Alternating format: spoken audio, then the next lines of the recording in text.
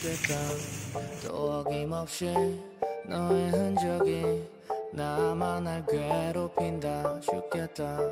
남대하듯이 돌아섰는데 왜 나는 외로울까?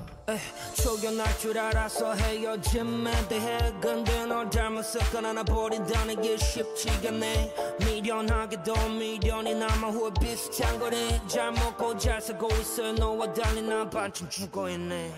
몰랐던 거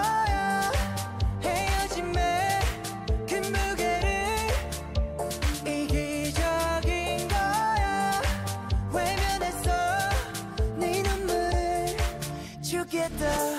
또 어김없이 너의 흔적이 나만을 괴롭힌다. 죽겠다. 남대하듯이 돌아섰는데 왜 나는 외로울까 죽겠다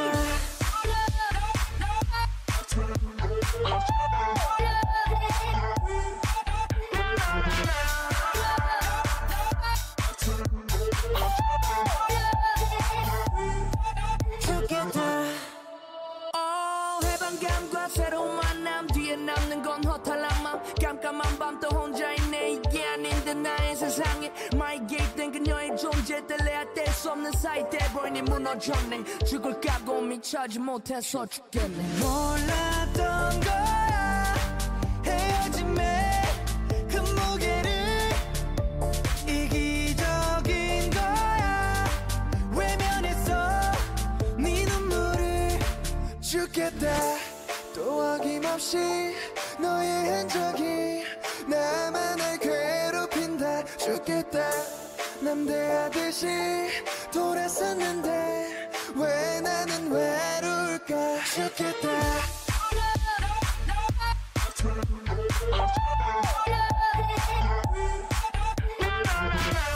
Oke.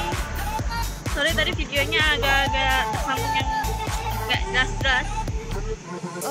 udah jelas kita ada di jembatan.